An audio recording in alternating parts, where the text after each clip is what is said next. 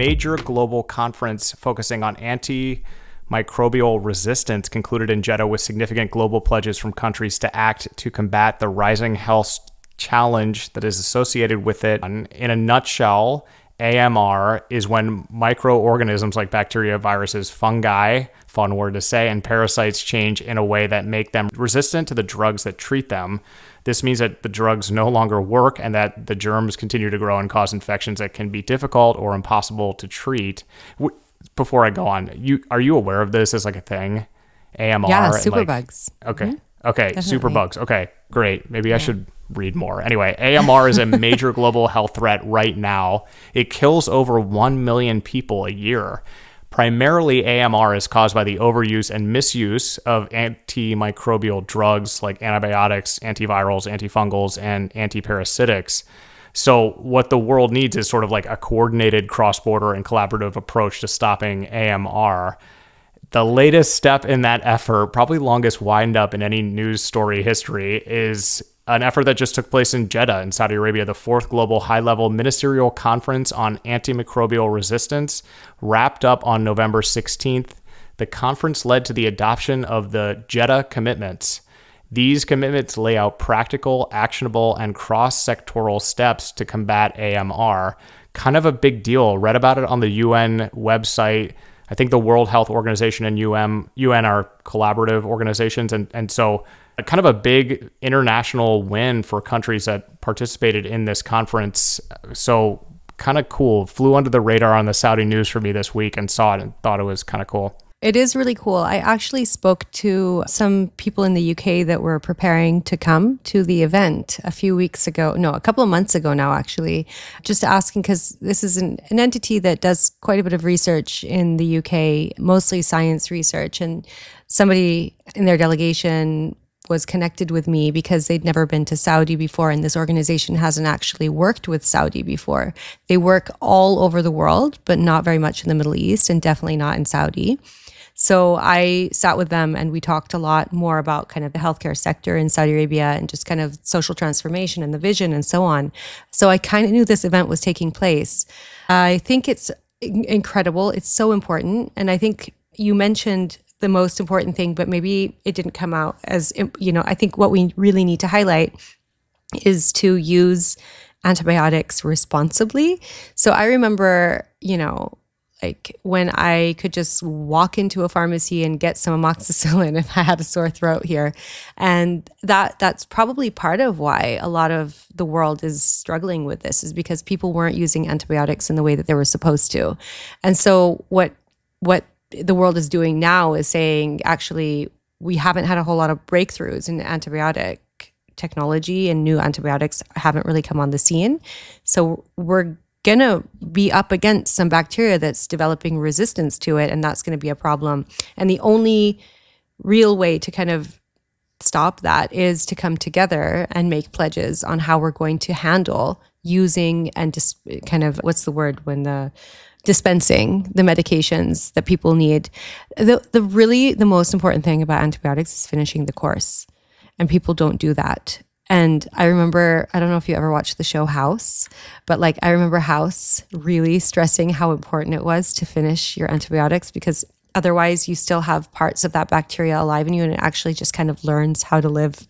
And it's emboldened by like it's near defeat and then it just lives on. And it and it, it, mutates right? So it's terrifying. So i think basically back to the serious bit well that's serious too it's actually terrifying but his excellency the minister of health uh, fahd al-jalajil said the conference outcome provides critical building blocks for member states and international bodies to significantly act against antimicrobial resistance. And that builds into kind of the political declaration on AMR adopted at the high level UN General Assembly meeting a few weeks ago in New York. So there's a AMR quote, I think it's called One Health Learning Hub and a regional antimicrobial access and logistics hub in Saudi to foster global co collaboration, which is going to improve access to essential antimicrobial diagnostics. So I think it's as exciting. I'm really, I'm really happy for two reasons. A, that we're talking about this because we need to, because it is a global health crisis on the horizon if we don't do something about it sooner. But also because I know for a fact that by being a part of this, Saudi Arabia is making new friends in the research world that want to come and be collaborative here in a time where we need to collaborate instead of trying to think about oh we don't work with that country. We've never done that. We don't know that. It's actually it's a convener in this space and that makes me very happy. Yeah it's so weird that i just did that whole kind of intro and run through and then like had totally forgotten that I almost lost my hand and died in April of this year. My firstborn son also almost died from bacteria infection.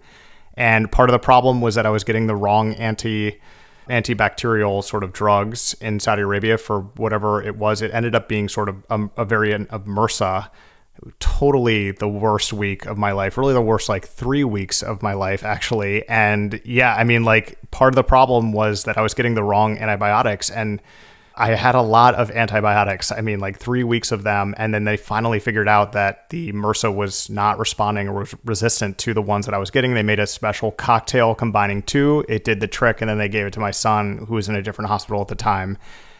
And before I left, they were super curious about all the travel that I had done and where I came from. But before I left, they were like, dude, you really have to make sure this time you take every single last prescription amount of antibacterial stuff because if you don't do it, it could come back. You are very lucky to have this hand. As we discussed, I would definitely have gone with a hook, assuming that I had survived the ordeal. But yeah, I mean, just kind of crazy stuff. And it's everybody asked me the only question that they asked me is, where did you get it? And I'm like, dude no one we, we will never know that. It's a bacteria actually lives on the skin of a lot of people and doesn't do anything to them but you know kind of kind of did a lot to me. The hand works great. Golf game is awesome. But yeah take it seriously. I'm, I'm kind of glad that we're talking about this now. Serious issue.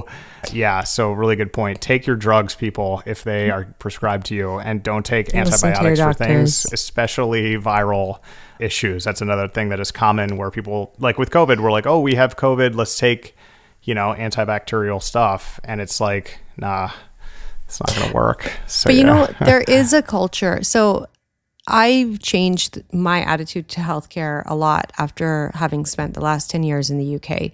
I was part of the culture here, which is similar in Saudi, which is similar to the one in the US, where we do over medicate.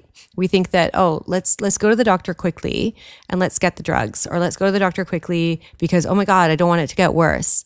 However, a lot of things you just can't actually fix with drugs right away. You can reduce the symptoms by taking, you know, painkillers and by doing all the other stuff that you're supposed to do. But some things you know, antiviral medication can help if it is a virus, if you get it within the first like 24, I think, to 48 hours, but not always. And there aren't antiviral drugs for everything.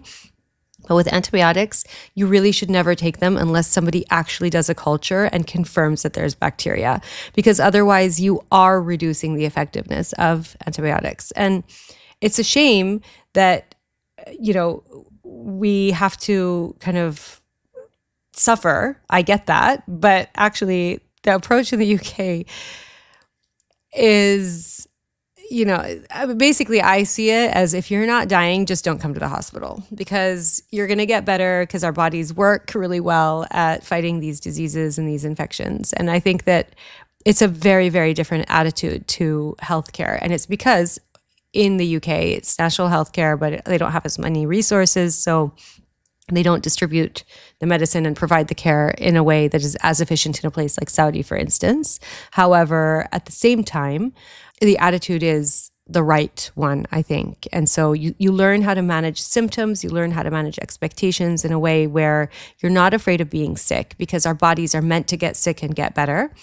But when you need the real drugs, that's when, you know, that's when you need to go to the hospital and they won't work if we continue to go and take them when we're not that sick. And I am a doctor, so I'm going to say I have an authority on this topic. you're our, you're the 2030 official staff doctor. You're our surgeon general.